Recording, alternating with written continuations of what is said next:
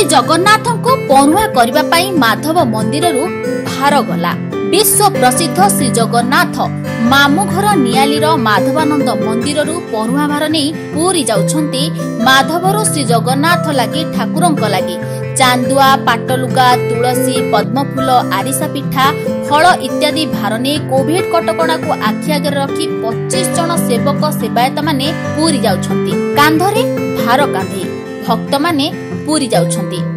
ଗତ ବର୍ଷ ପଢୁଆ ଭାର ନେଇ ଯାଇଥିବା ବେଳେ ଅନୁମତି ନଥିବାରୁ ସମସ୍ୟା ଦେଖାଦେଇଥିଲା ଶୁଣନ୍ତୁ ଗତ ବର୍ଷ ସୂର୍ଯ୍ୟନାରାୟଣ ରଥସଭା ସେବାୟତ ନୁହନ୍ତି? ସୂର୍ଯ୍ୟନାରାୟଣ ରଥସଭା ଗବେଷକ।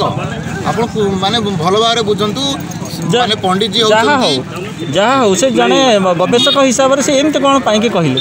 ଶୁଣନ୍ତୁ ଗବେଷକ ହିସାବରେ ସେ ଯାହା କହିଛନ୍ତି ପୁଣି ଏ ବର୍ଷ ସେ ଆମ ସାଥିରେ ରହି ପୁଣି ଯେତେବେଳେ କହିବେ ଯେ ନାଇଁ ମାମୁଁ ଘରୁ ଭାର ଆସୁଛି ତାଙ୍କ ବାପା ଅ, ମାନେ ପଦ୍ମଶ୍ରୀ ଉପାଧି ପାଇଥିବା ଅ, ମାନେ ରଥ ଶର୍ମା ସିଏ ଲେଖିଛନ୍ତି ନିଆଳି ହେଉଛି ଅରୁନ୍ଧତୀପୁର ତାଙ୍କର ସେ ଯେଉଁ ମାନେ ବହିଟି ଆମକୁ ଦେଖେଇଲେ ପୁରୁଷୋତ୍ତମ ଚେତନାରେ ଏବଂ ଏହା ସ୍କନ୍ଦ ପୁରାଣରେ ମଧ୍ୟ ଅଛି ଆପଣ ଏଥର ତାଙ୍କୁ ପଚାରିଲେ ସିଏ କହିବେ ଇଏ ଇଏ ହେଉଛି ଯେଉଁ ନିଆଳିରୁ ଭାର ଯାଉଛି ଇଏ ଠିକ୍ ନା ଭୁଲ ମାତ୍ର ଚଳିତ ବର୍ଷ ଭାର ନେବା ଲାଗି ମନ୍ଦିର ପ୍ରଶାସନ ଅନୁମତି ପ୍ରଦାନ କରିଥିବାକୁ ନେଇ ସୂଚନା ଦେଇଛନ୍ତି ପ୍ରାଚୀ ତଟବର୍ତ୍ତୀ ଅଞ୍ଚଳରେ ଭକ୍ତି ଓ ଭାବାବେଗର ପରିବେଶ ସମଗ୍ର ପ୍ରାଚୀ ତଟ ଆଜି ଜଗନ୍ନାଥ ସଂସ୍କୃତିରେ ଉଦ୍ଭୂତ ହୋଇଛି ଉଦ୍ଭୟର ସୃଷ୍ଟି ହୋଇଛି ସମଗ୍ର ପ୍ରାଚୀ ତଟରେ ନିଆଳି ମାଧବ ମାଟିରେ ଜଗତର ନାଥ ଜଗନ୍ନାଥଙ୍କ ମାନବୀୟ ସମ୍ପର୍କ ଡୋରି ଭରଜା ଡୋରିରେ ବାନ୍ଧିବା ପାଇଁ ଯେଉଁ ଅପୂର୍ବ ମହାର୍ଘ୍ୟ ମୁହୂର୍ତ୍ତ ଉପସ୍ଥିତ ହୋଇଛି ସେଥିପାଇଁ ଆଜି ଏ ମାଟି ନିଜକୁ ଗୌରବାନ୍ୱିତ ମନେ କରିଛି।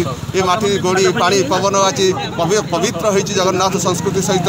ଏକ ନୂଆ ଫର୍ଦ୍ଦ ଯୋଡ଼ି ଦେବା ପରେ। ପୂର୍ବତନ ବ୍ଲକ ଅଧ୍ୟକ୍ଷ ନାୟବ୍ରତ ରାଉତ ମାଧବ ବିକାଶ ପରିଷଦ ସଭାପତି ତ୍ରିନାଥ ପୁଷ୍ପାଳକ ଟ୍ରଷ୍ଟି ପ୍ରଶାନ୍ତ କୁମାର ଦେବ ଗୋସ୍ୱାମୀ ଓ ସଂକୀର୍ତ୍ତନ ମଣ୍ଡଳୀର ଆବାହକ ଅକ୍ଷୟ ବେହେରା ପୂର୍ବରୁ ମାଧବ ମନ୍ଦିରରୁ ଅଷ୍ଟମୀ ପୂର୍ବ ଦିନ ଅର୍ଥାତ୍ ମାର୍ଗଶିର ମାସ କୃଷ୍ଣପକ୍ଷ ସପ୍ତମୀରେ ସେବାୟତମାନେ ପୁରୀକୁ ପଢୁଆ ଭାର ନେଇ ଯାଇଥିଲେ ଏହା ମଧ୍ୟ ସୂର୍ଯ୍ୟ ପୁରାଣରେ ରହିଥିବା ସୂଚନା ମିଳେ।